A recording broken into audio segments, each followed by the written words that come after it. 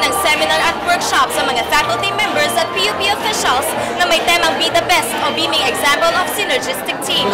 Layunin nito na makabuo ng isang matatag na learning university at isinusulong ang pagkakaroon ng pagkakaisa sa bawat faculty member.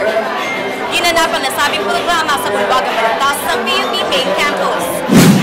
Abangan ang buong detalye ng balitang yan sa susunod na episode ng J-Observer Online. Para sa J-Observer Flash